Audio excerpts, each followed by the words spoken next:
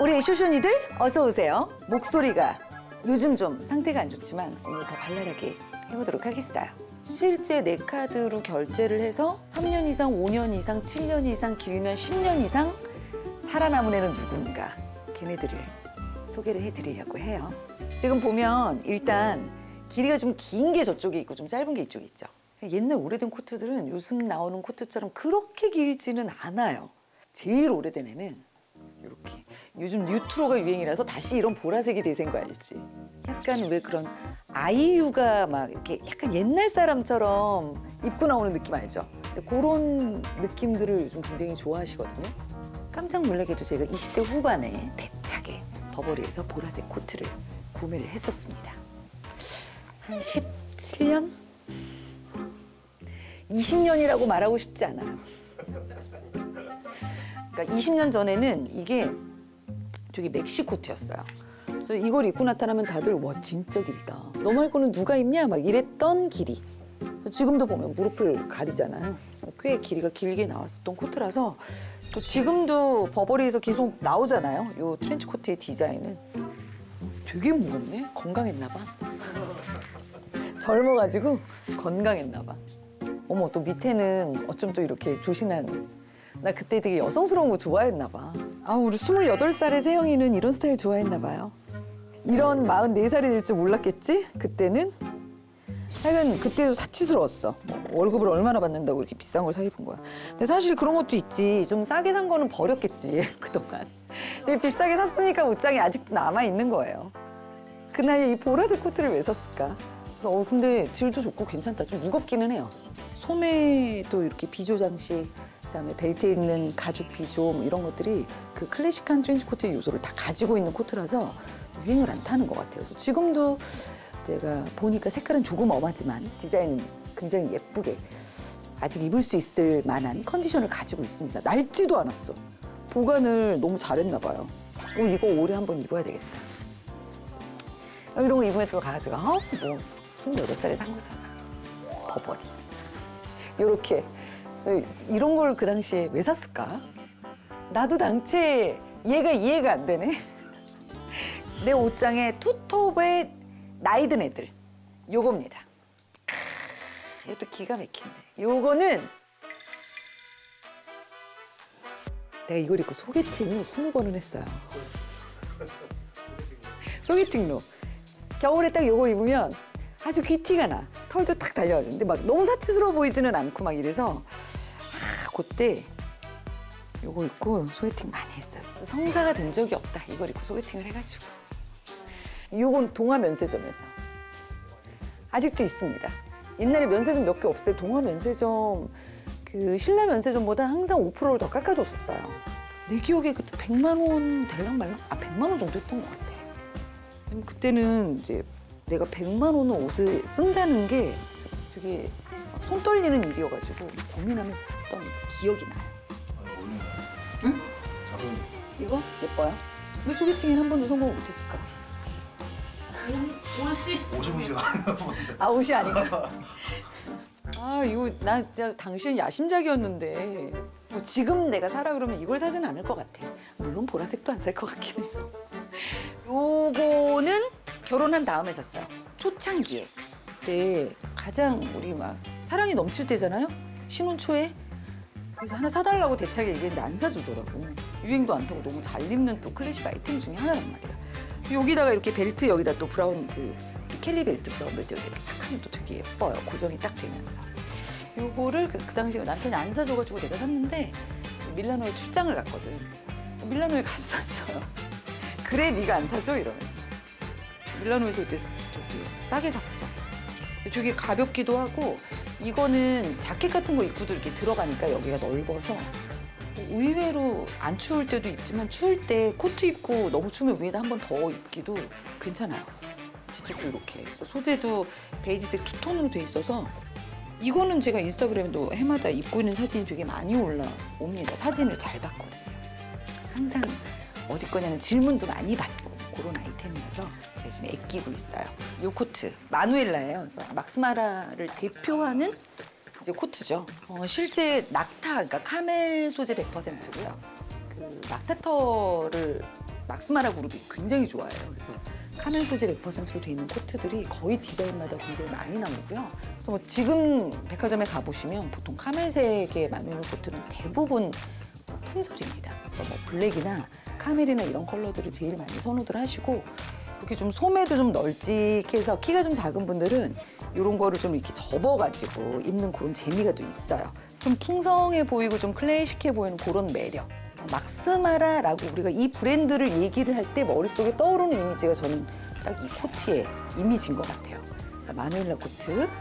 이거는 제가 팔고 샀어요.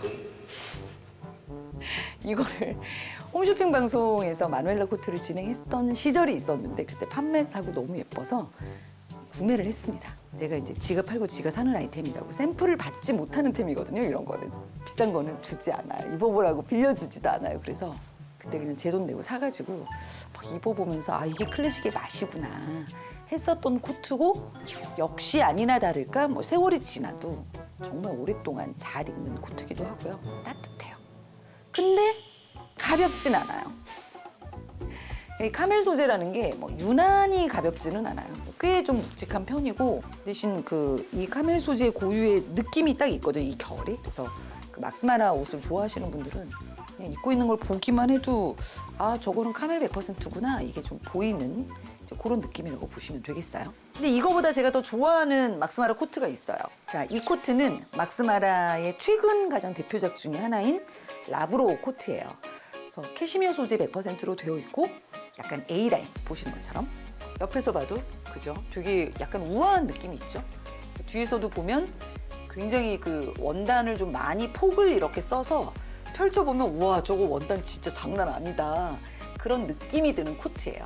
근데 이 코트는 되게 가벼워요. 물론 뭐 우리가 캐시미어 100%의 코트가 다 그렇겠거니 하지만 뭐 굉장히 가볍기도 하고 부드럽기도 하고 여기 가서 입어보고 저기 가서 입어보고 아무리 입어봐도 이 라브로 코트를 이길 자가 없더라고요. 딱 입는 순간에 아 비싼데 이거 사야 되나 보다. 그래서 이제 이거는 거의 1년을 고민하다가 제가 샀습니다. 아마 세월이 지나면은 마지막에 얘가 남아있지 않을까. 왜냐면 나이가 들면 무거운 옷을 점점 못 입잖아요. 그리고 나이가 들어도 이건 사이즈도 내가 좀 살이 붙고 이래도 어, 별로 구애 없이 입을 수 있는 스타일인 것 같아서. 근데 이건 신기하게 벨트 고리가 없어요 라브로 내 코트만 없는 건 아니죠. 날씨가 많이 안 추울 때는 이렇게 툭 떨어뜨리고 입고 다니는 것도 멋있는데 추우면 묶어야 되기 때문에 한 번 묶고 나가면 잃어버릴까 봐 풀 수가 없어요. 또 어떤 분들은 고리가 있으면 지저분하다고 싫어하시더라고요. 그래서 요거는 고민을 좀 하셨다가 내가 나중에 기회가 되면 저거를 하나 어? 장만을 하리라 그런 걸로 생각하시면 제가 몇 년 입어보니까 후회가 없다라는 마음을 가지고 있는 코트예요. 요거는 조금 짧은 게 있어요. 짧은데 예뻐. 근데 이 길이의 코트가 이거 하나야. 이렇게 짧은 코트는. 요거는 물론 카라가 예쁘죠, 카라가. 물론 카라와 단추 이런 디테일이 예뻐서 샀는데 롱이었으면 얼마나 좋았을까 하면서 구매하기는. 근데 팔 짧은 거 봐봐. 뭐 일부러 이랬다는데 이렇게 귀엽게 입으라고 이렇게 나온 거라는데 좀 심하게 짧은 것 같지 않습니까? 근데 이거를 또 늘리자니 이 맛이 안 살 것 같아가지고 하여간 뭔가는 마음에 예쁘든지 가볍든지 둘 중에 하나는 해야 오래 입는 것 같아요.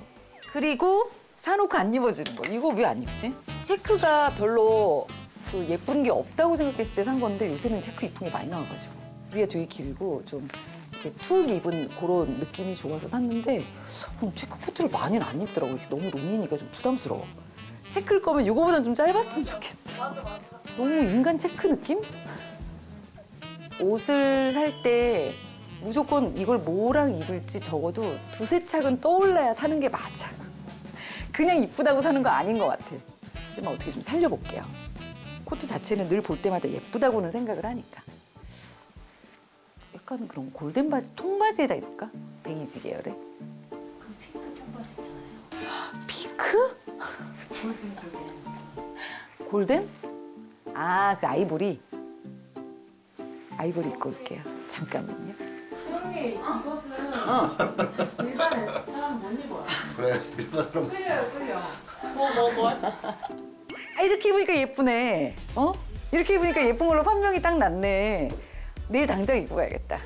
어, 아유, 사놓고 너무 오래 묵혔어. 이, 이번 주에 두 번 입을게요. 일단 생각날 때 입어야 돼. 뽕을 빼야 되니까.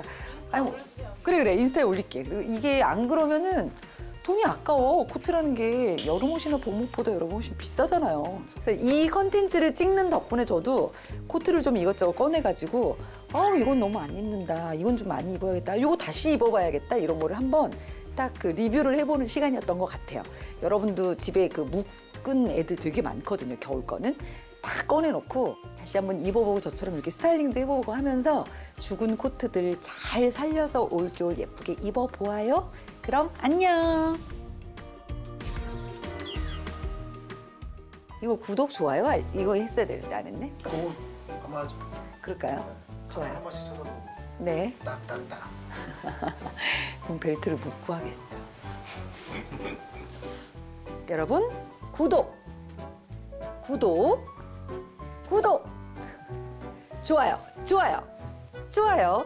알림 설정도 잊지 마세요. 목소리 허스키해가지고 잊지 마세요.